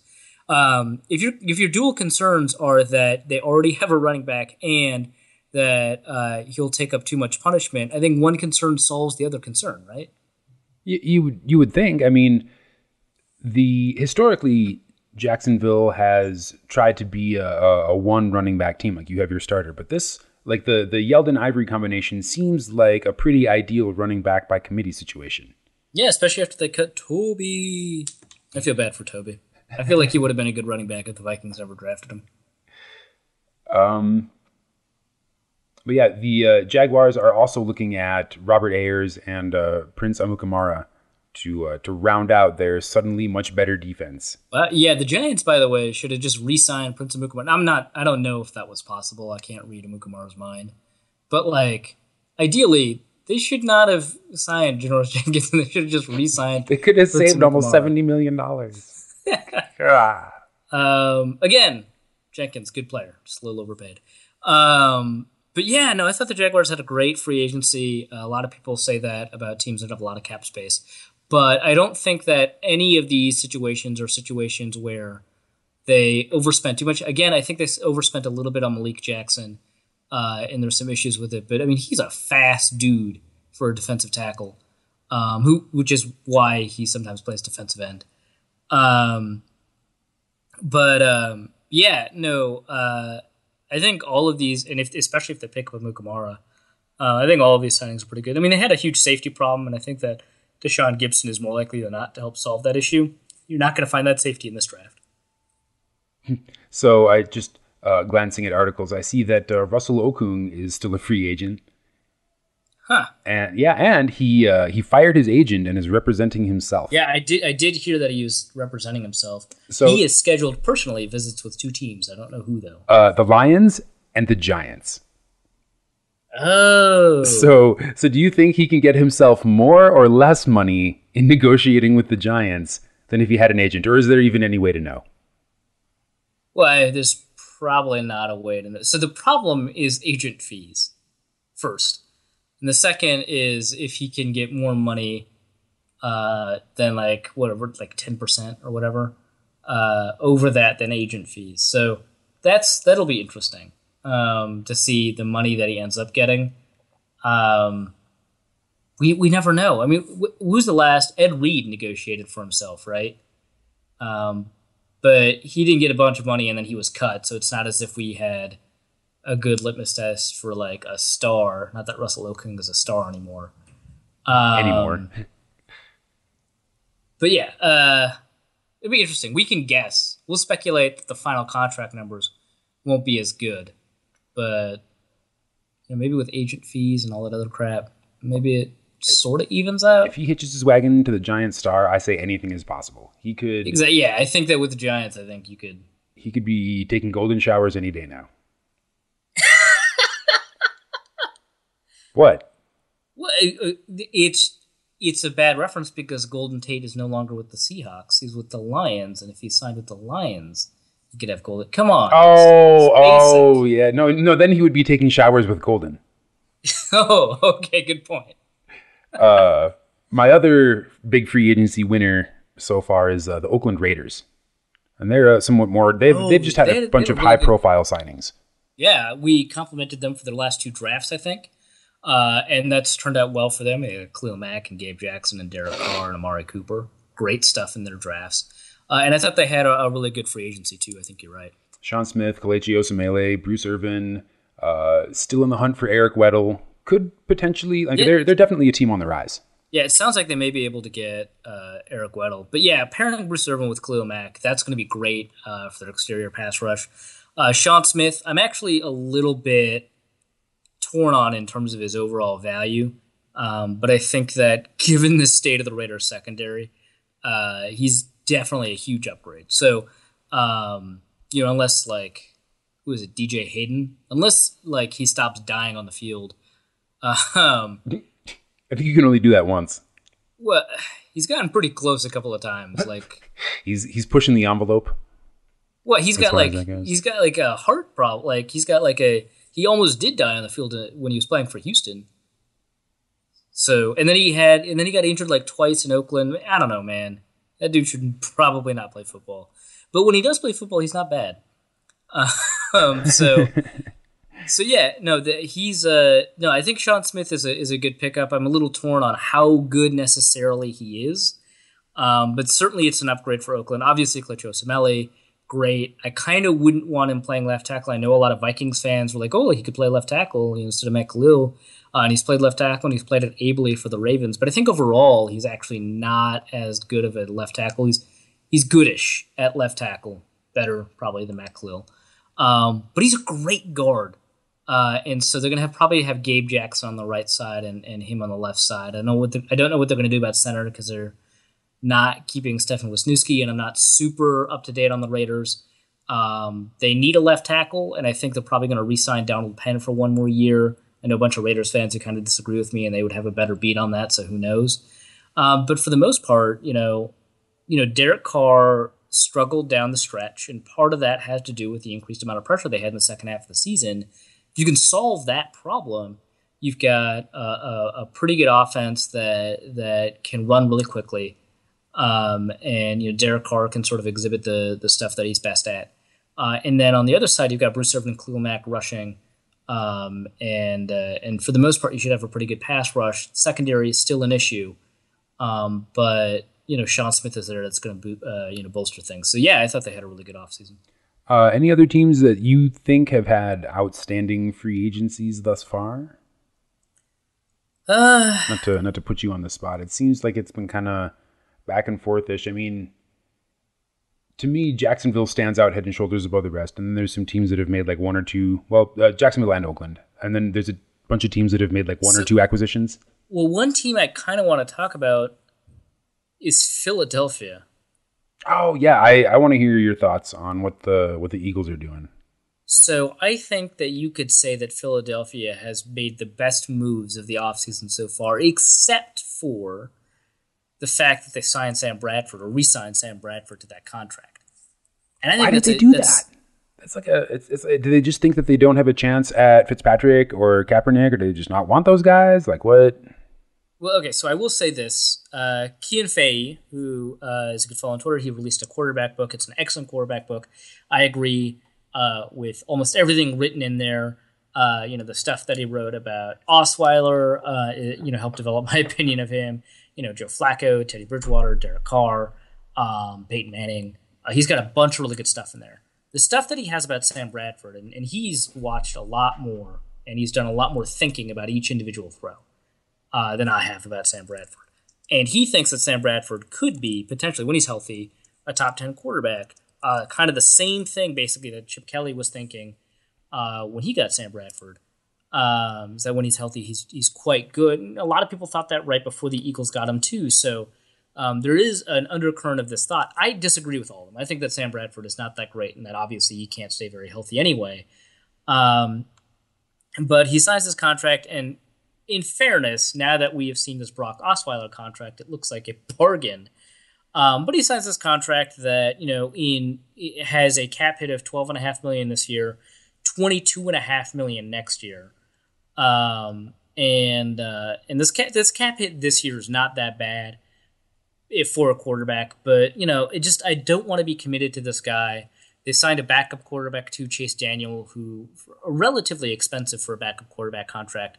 Um, and it's probably going to preclude them from drafting a quarterback because they've got so much money invested in in these two guys. Uh, and I think that's going to be a problem. But if you take a look at the rest of this free agency, and I know how important quarterbacks are, uh, so it's very difficult to say this it might have been worth it to get the rest of this this offseason because they were able to trade Byron Maxwell and Kiko Alonso away on the same day, um, and DeMarco Murray, and they were able to they got like got a bunch of draft picks out of it. They moved up from thirteen to eight, uh, and um, I think they got like an additional fourth round pick, and um, they got they got a lot of assets and um, and that was just that was all good. It was all it was all it was all really good stuff. You know, uh, you know some of the trades, and I think they made some signings and re-signings that I I can't think of off the top of my head. Um, but you know, there's some good stuff that they did so far this offseason. Well, on to the bad. Then I think Denver, far and away, is uh, is suffering the most in this free agency. This will be a, a true test of John Elway's GM slash executive VP of operations capabilities when uh, when he has to be more strategic than just find Peyton Manning and have him win you a Super Bowl. Right. Which is you know a So- bit of an oversimplification, but still, Right. I mean, uh, our we're it, it's not good thus far. But uh, uh, I guess moving a little further down, like I mean, they're they're head and shoulders the worst, but I think the Jets They're are they're the worst, but also one of the things that made their defense so good was the amount of depth they had. So I think this hurts them less than it looks like on paper once you take into account that, you know, Sylvester Williams isn't bad. They do need to find another tackle slash end to replace Malik Jackson. But for the most part, you know, the defense will be largely okay. Obviously, you have to find a quarterback that's going to be a first round thing. You have to find a running back that might be a third round thing. But their quarterback situation was never great anyway. So it's bad. I think you're right that it's the worst. It's just, it, I think it looks worse than it is.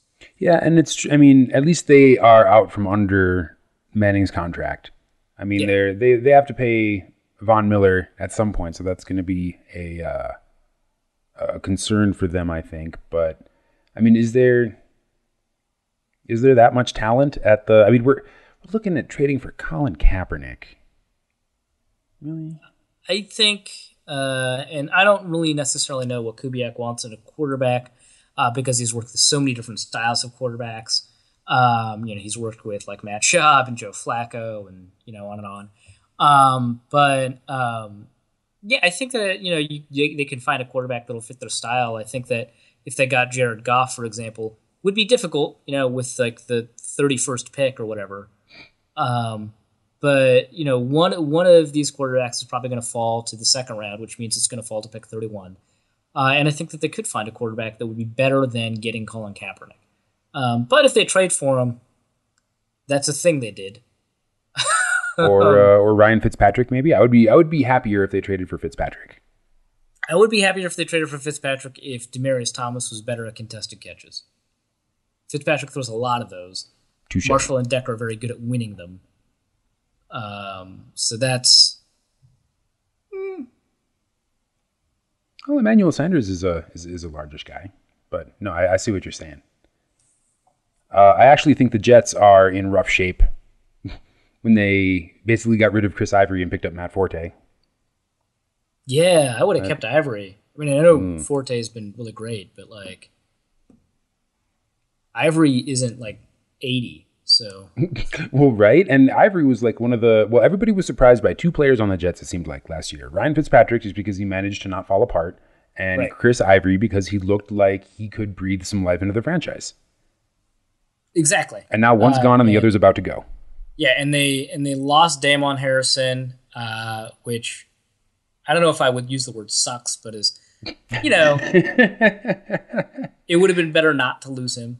Uh, he was worth like the eight and a half million or eight million dollars that he signed for with the Giants, uh, and so you know it would have been would have been nice to keep him. The only reason I'm saying it doesn't suck is because I think they franchised Muhammad Wilkerson, so they get to keep Leonard Williams, Sheldon Richardson, and Muhammad Wilkerson on the same line. So that's not that big of an issue for them. But still, Snacks was good. Uh, I also think that the Saints were just like a, a head scratcher in their like random desire to seek out Coby Fleener. The Saints have been pretty random about their off seasons for the last two years. So, yeah, I I mean I agree with you. I,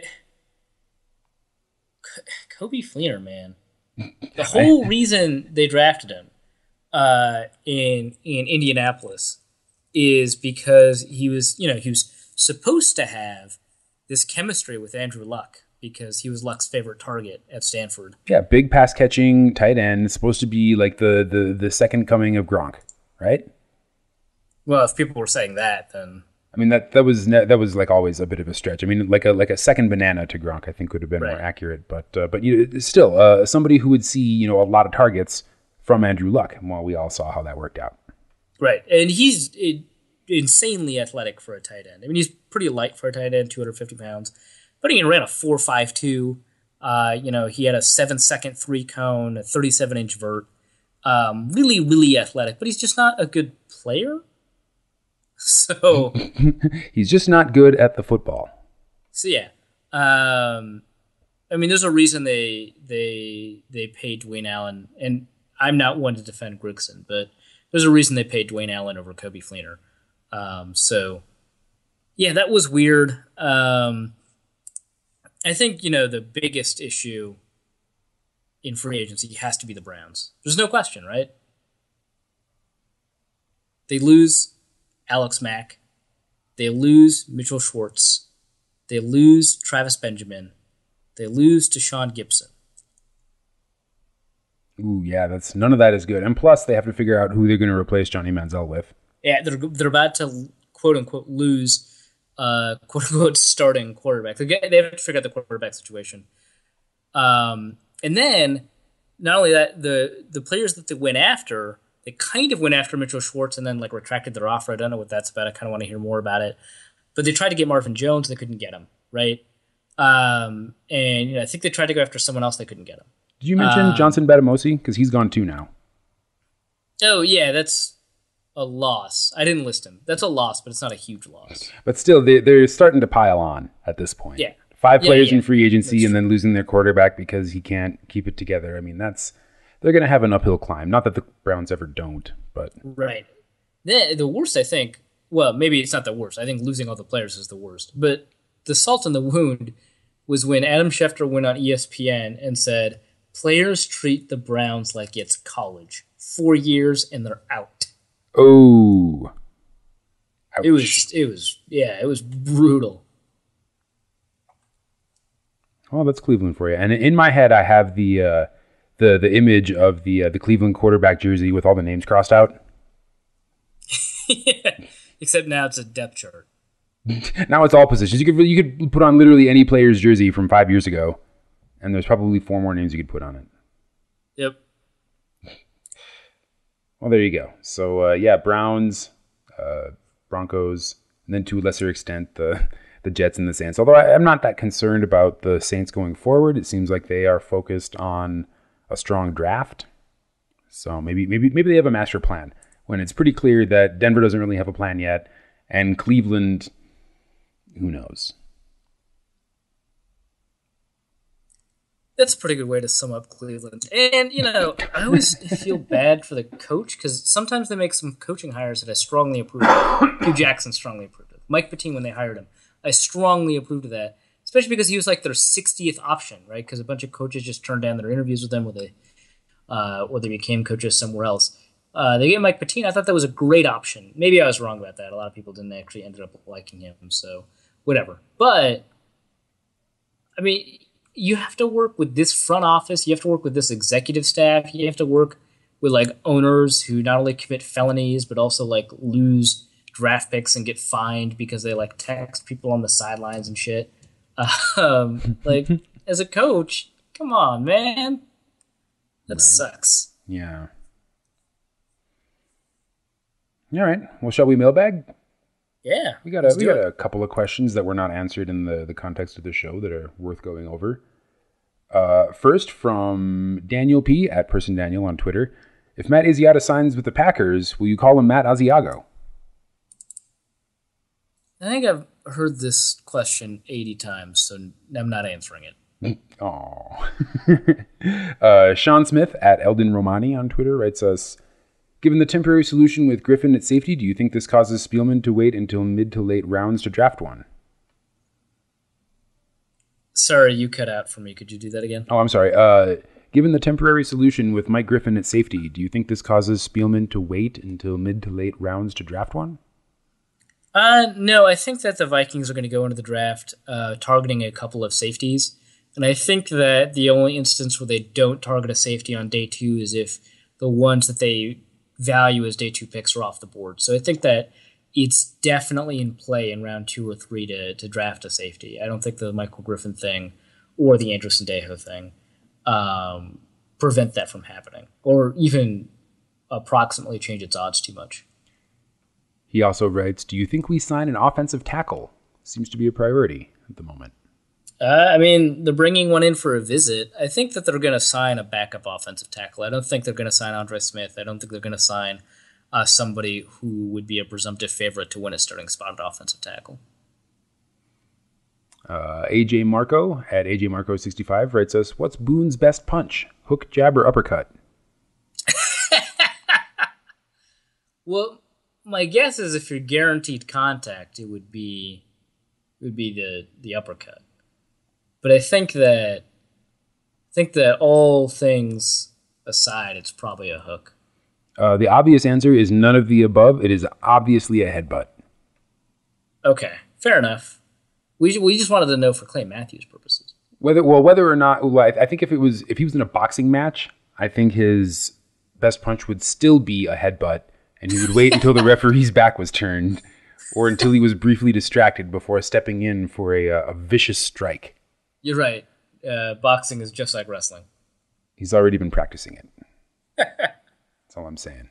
Thaddeus Maximus at School Viking 75 writes Will Aaron Rodgers' blood be easy to clean out of the new turf, if you were to guess? I think they're making that a priority. Uh, I, I guess I'm hoping yes. Well, yeah, it would just not be civil not to be able to clean that out. Because, I mean, it would be an awful lot of blood otherwise, and that might be a little too intimidating to other teams. Plus, red's not even a team color.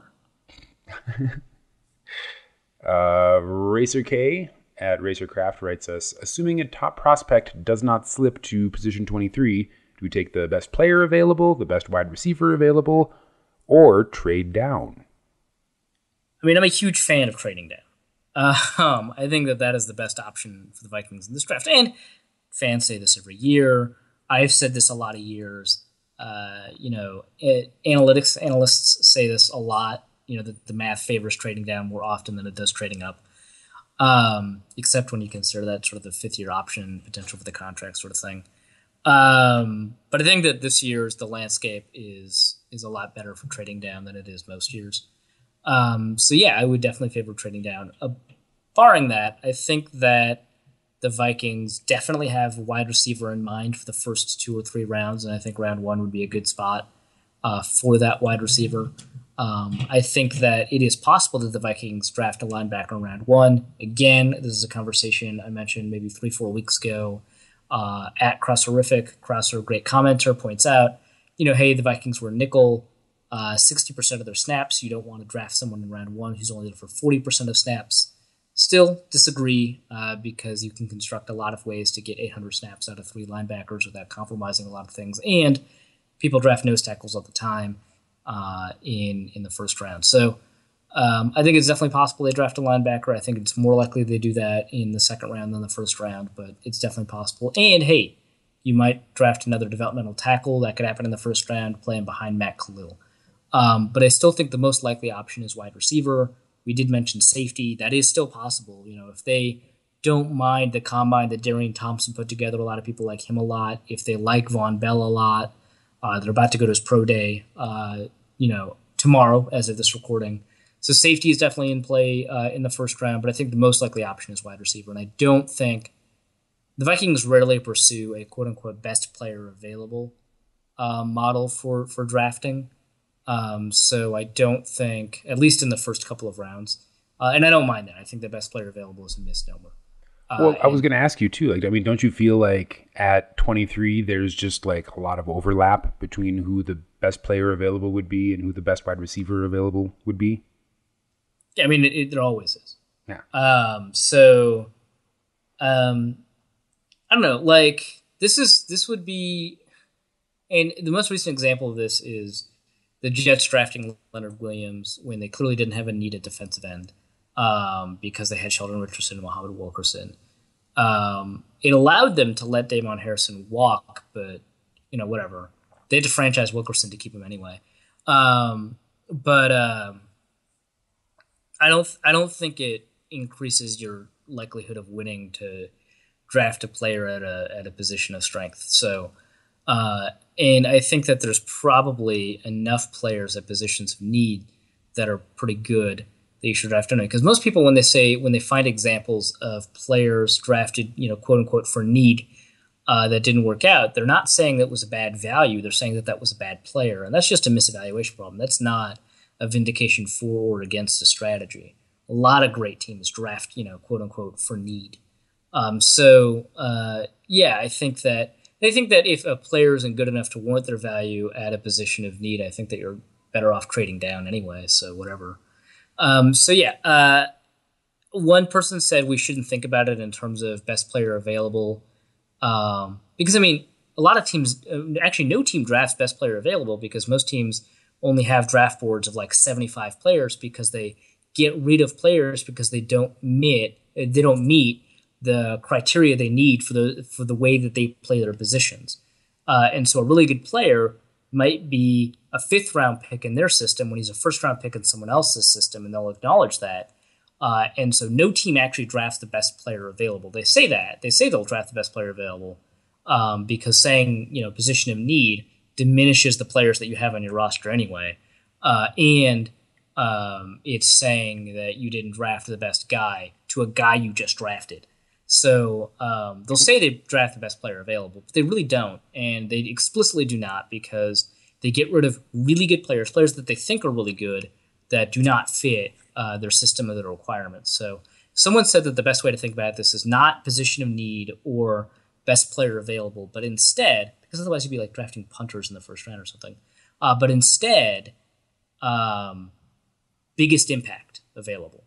And impact is a combination of snaps that you can take, so that's kind of need, uh, and how, how well you play, and it allows you to create the sliding scale. Because if you're really good, but you're only in a position of slight need, it might be better than someone who is pretty good but at a position of major need, and therefore you'd be a bigger impact despite not being at a position of need and despite not being the best player available. So that might be it. But I think the Vikings generally have models for drafting that do not take the best player available, but they will take, you know, the best linebacker available in the late rounds, the best guard available in the late rounds or something. But for the most part, the first couple of rounds they've drafted for need.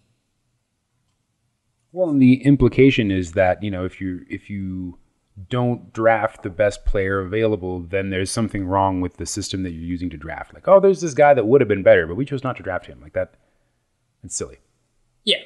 Um, that and like, there's like this weird thing. Like you've a lot of teams rank players, uh, or not rank. They don't. A lot of teams don't rank players. They have horizontal draft boards um, instead of vertical ones. Um, but a lot of teams look at players so there's like small distinctions between them. And so what ends up happening is that you've got three players with the same grade, and one of those players is a better fit for your team based off of what your needs are.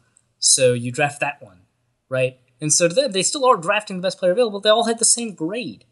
Uh, so it's just that one was at a more important position uh, for them at that moment. Uh, so it's like weird because that's not how teams end up drafting anyway because they've got these horizontal boards. Um, except you know some teams don't, like New England doesn't, but they've got a really weird system anyway, so it doesn't really matter. Um, but yeah, it's uh, it's silly because there's no single best player available, and like the second best player, if if you did that, is not. It's not like a lot, way a lot of people talk about is like this huge drop off. Like you're reaching for this sixth round linebacker because you need a linebacker in the second round. That doesn't happen for teams. Like when the Vikings drafted Christian Ponder, they very probably did not have a second round grade on him. They probably had a first round grade on him. The problem wasn't that they drafted for need. The problem was that they were wrong. So, yeah, I mean, that's like I think that that kind of thinking is is is employing the incorrect assumptions about the way teams draft and the way that teams rank or grade players. So maybe we can put that nonsense to bed. Once uh, we'll never we'll never put that nonsense to bed. It's well, a debate every single year, and it annoys me every single year. I know you certainly sound happy to have it now. Uh, speaking of putting nonsense to bed, that is the end of the mailbag, and consequently the end of this episode of Norse Code. All right. Womp womp. Womp womp.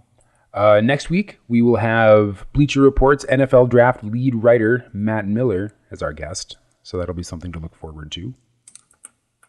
Yeah, at NFL Draft Scout. Um, if you're really curious about stuff, pre-write your questions and email them in uh, at was it norsecodepodcast at gmail.com? You are correct. We will yeah, uh, we will apply the mailbag for questions for Matt and uh, and for Reef, and that uh, that'll be taped next Thursday night. So you've got one calendar week to uh, to submit your questions. You can also do so on Twitter. Tweet us at NorseCodeDN. That account is run by our producer, James Pagachnik, who is at Big Mono on Twitter. You can follow me at Dusty O'Connell and Arif, of course, at Arif Hassan NFL. Our Facebook page is facebook.com slash Daily Norseman. Um, we've been doing a pretty good job of including more content as the week goes by. In fact, it was pretty funny. I managed to basically publish some stuff that pretty much ended in the show notes, or publish some stuff that you guys talked about on uh, last week's show in the run up to the show on Facebook without coordinating with you at all. So that was convenient. Hooray! You can also check out uh, dailynorseman.com. We host all of the episodes there, as well as our website, norsecodepodcast.com. Uh, on our website, you can click on the little PayPal donate link to throw us a couple bucks if you feel like our service is worth paying for. But what we would really like is if you became a recurring sponsor of the show on our Patreon page at patreon.com slash norsecode. You can contribute any amount you like, $1 to, I don't know, let, us say a thousand, thousand dollars a month. Not, not that, you know, anyone, anyone would, but if you did, that would be great. But you, but you definitely shouldn't prevent yourself from contributing a thousand dollars a month if you were thinking about it and then were dissuaded by Dusty saying maybe you wouldn't. If you can, then you should. Let me let me put it that way. We if you really can and have an inkling of wanting to, I don't want to put like this normative statement on people. No, I, th- I think if you are if you are capable, like if you are in, in a position in your life where where you can afford to uh, to commit a thousand dollars a month to the number one podcast for your Minnesota Vikings, then that goes from just a uh, a desirous thing to a moral obligation. All right, Dusty, I won't argue with you on that because it would be it would be great, wouldn't it?